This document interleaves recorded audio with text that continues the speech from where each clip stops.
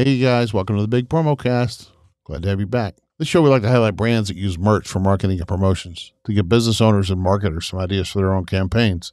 We'd love it if you left a review on Apple Podcasts or Spotify or wherever you get your podcasts, or even in a comment down below this video. I've got a few interesting things on the on the uh, agenda this week. Our buddies at Miller High Life and Tie Bar have come back again for wedding season. Movie promotional popcorn buckets are a big deal all of a sudden. Trader Joe's has some merch news.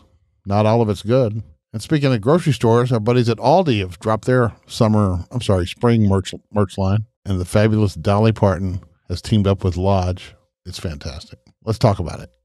So our pals over at Miller High Life have done a collab with the Tie Bar.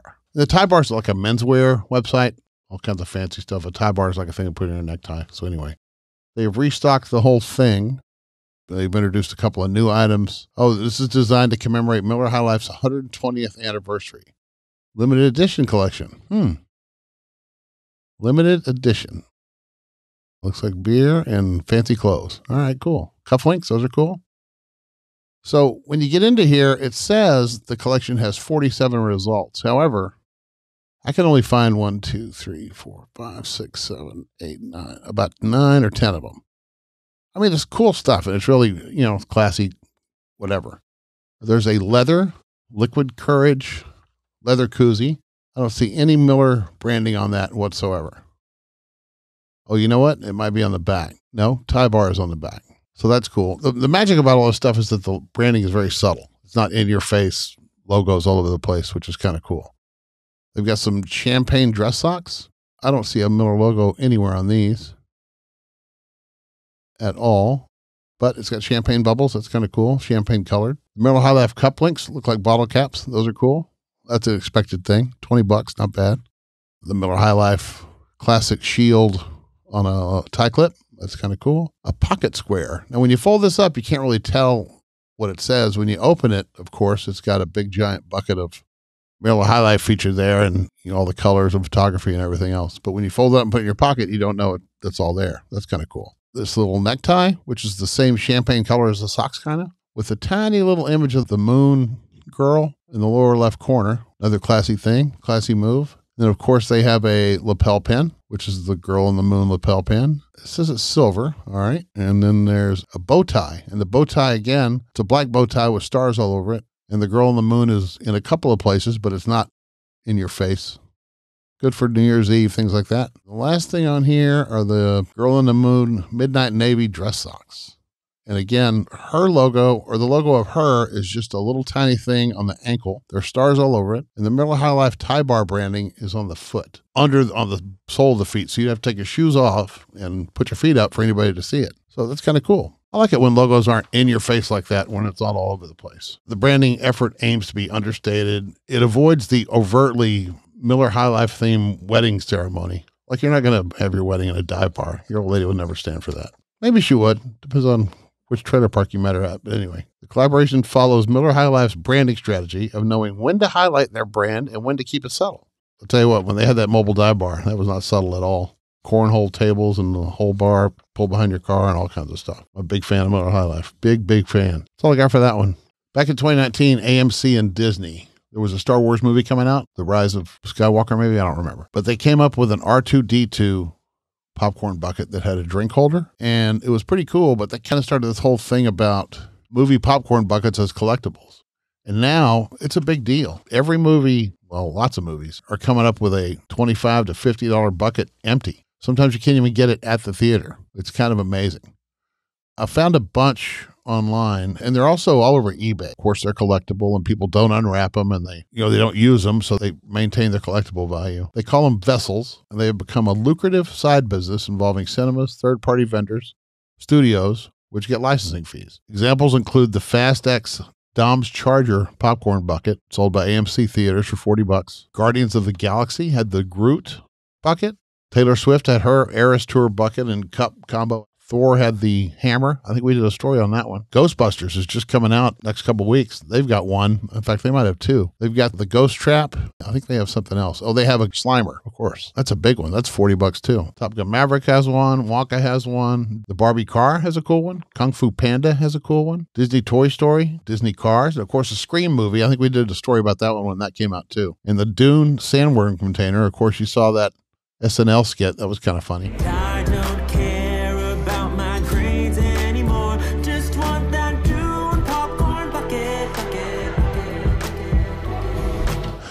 Sorry, man. Okay. These are all over eBay for sale. The Ghostbusters thing hadn't even come out yet, and it's already it's already on on eBay. And you know, I don't know how they're getting away with that. Oh, there's another one, a Tim Green bucket and the Slimer bucket. There's the Kung Fu one still wrapped up. See, when they're wrapped up, you can't really tell what they look like. But anyway, look, what was that down there? A Coca Cola thing? Looks like a Coke truck. Oh, it's a Transformers Optimus Prime popped up bucket. Jeez Louise. They've got it all. And here is the car. Now, I didn't know that, the car had one, that the Ghostbusters car had a popcorn feature. Maybe it does, maybe it doesn't. Maybe this is a knockoff. I don't know. Ecto 1, that's the license plate. Maybe. Anyway, the seller has 47 comments or whatever, 47 ratings. $65 ships from Virginia, 1350 shipping. Hmm. Don't know if that's real or not. Maybe it is. Oh, here's another one. So yeah. If you've got a couple of them, that means it's real. Anyway. So there you go. Popcorn buckets. Go to the movies, pay your 15 bucks to get in the movies, buy your $50 worth of popcorn, get yourself a collectible, and you make your money back. It's kind of cool. You know, it's just another way for people to make money. It's, not, it's another way for movies to, you know, it's not like they're already soaking you for $15 sodas and $20 candy bars and everything else. Jeez Louise. Okay, that's all I have about movie popcorn buckets. Tell you what, people are crazy in the United States. I swear to God. Trader Joe's is a grocery store. It's just a grocery store. Nothing fancy about it. They have some quirky things. They have brands a lot of places don't have because they private label a lot of stuff. But people who love Trader Joe's love Trader Joe's. It's unbelievable the devotion they have and their fans have. So they came up with this mini tote bag. So just a little tote bag. It's little. It's it's too little to use anyway. I mean, you can put your lunch in or whatever. It's not like something you, you wouldn't go to the grocery store and buy your week's worth of groceries and stick it in here. Because it's too small. But they came up with them red, green, blue, and yellow. Watch these videos. Yes, the Trader Joe tote bag is a classic. It's big, it's sturdy, it's affordable. Now we have this miniature version that's only $2.99. I agree, this is an amazing deal, but is the mini Trader Joe's tote bag really worth rampaging shelves? We got the Trader Joe mini tote bag.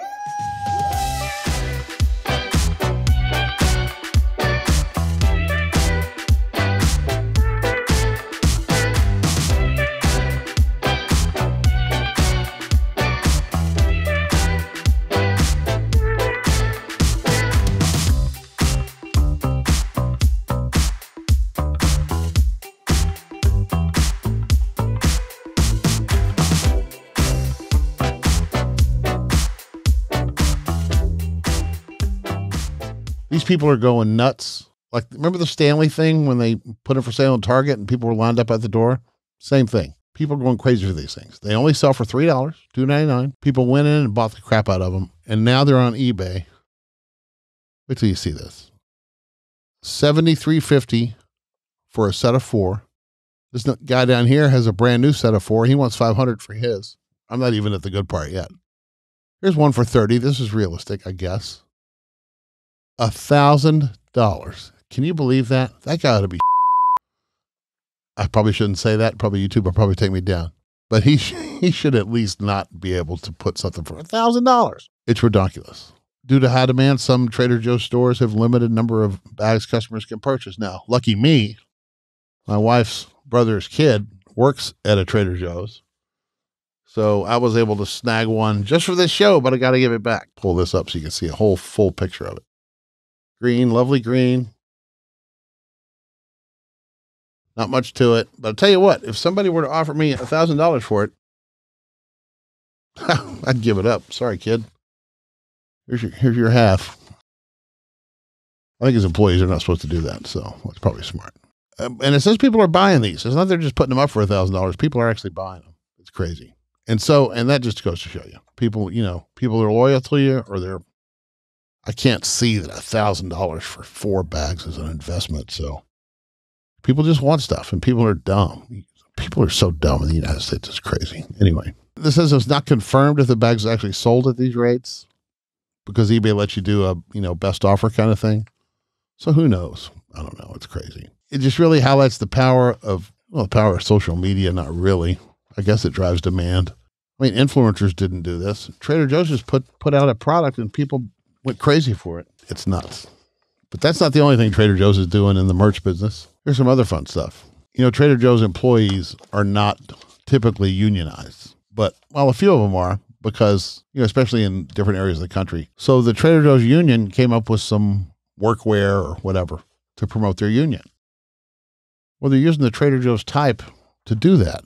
And that's probably a no no, except so Trader Joe's took the union to court for using their graphics or to use for using something like their graphics. And Trader Joe's, the union won. A judge threw the case out. They're saying the lawsuit was frivolous. Like, here's the tote bag with the Trader Joe's logo, and here's what the union, Trader Joe's United Union, looks like with a fist in the air. And I don't know if it's dollar bills or what. I can't tell what it's holding. I mean, their you know, their website is for it's for everybody in the Trader Joe's whatever world.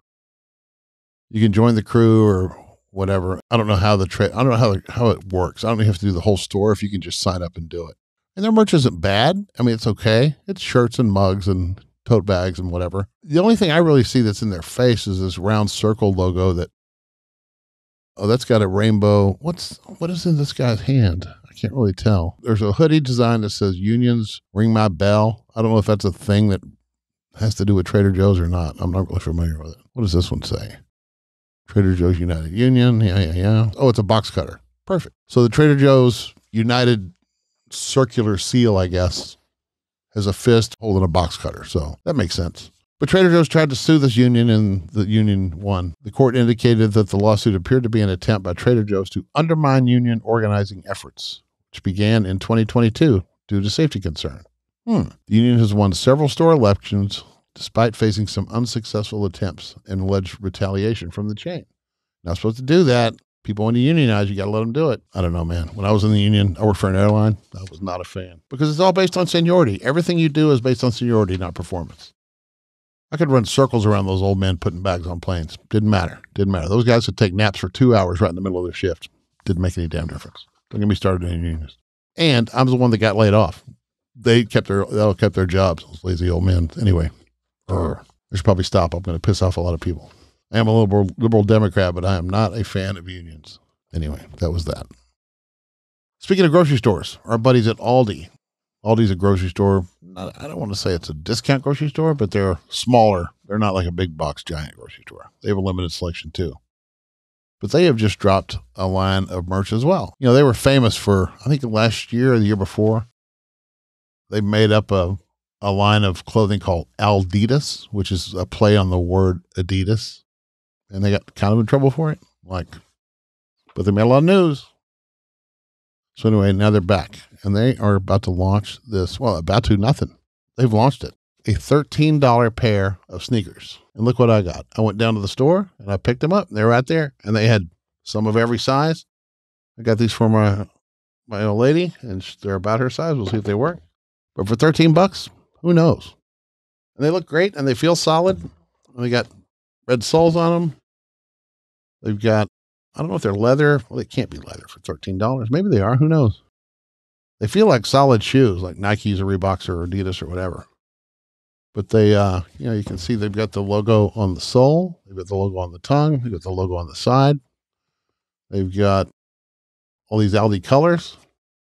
Came in this fantastic box branded box that has you know, it's full color all over it. Recycled materials, it says. All day comfort, durable sole. Memory foam insock. So I guess if it was leather, it wouldn't be recycled, right? I guess that makes sense. But anyway, they had all kinds of stuff there. Um, it wasn't displayed really well. Here at Aldi, and here's their stuff. Sneakers, you can't even see them. They're in those boxes.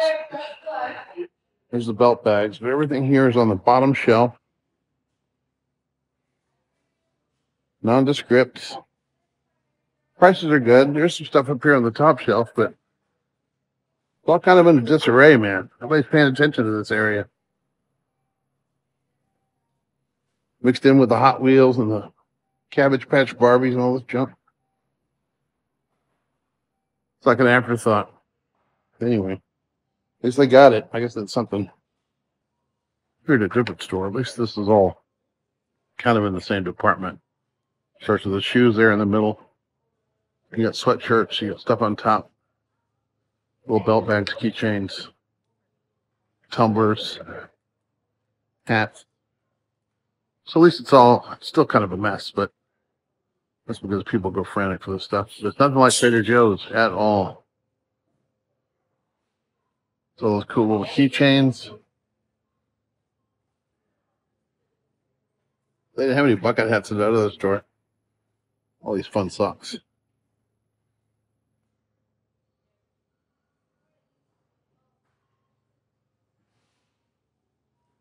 Pet stuff. Come on, man.